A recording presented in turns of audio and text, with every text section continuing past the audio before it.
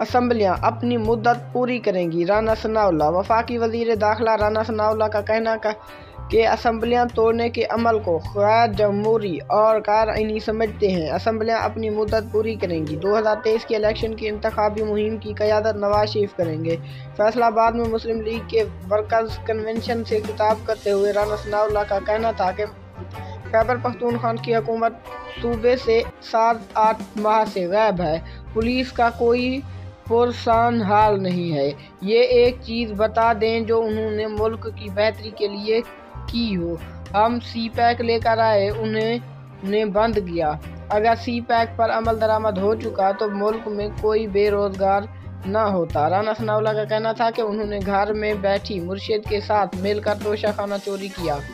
ये जब हम पर झूठे मुकदमा दर्ज करा रहा था, उस वक्त खुद तोशा खाना चोरी कर रहा था। इनके लिए खिलाफ केसेस बनेंगे। वफाकी वज़ीर का कहना था कि अगर ये असम्बलियाँ तोड़ते हैं तो हम भरपूर तरीके से इलेक्शन लड़ेंगे। इलेक्शन अक्टूबर 2023 में होंगे। असम्बलियाँ अपनी मुद्दत पूरी करेंगी। 2023 के इलेक्शन में मुस्लिम लीग नून अक्सरियत से हासिल करेगी। उनका कहना था कि ये मुल्क दिवालिया और अदम इसकाम का शिकार करना चाहते हैं। इमरान खान का वजूद एक फसाद व फितना है।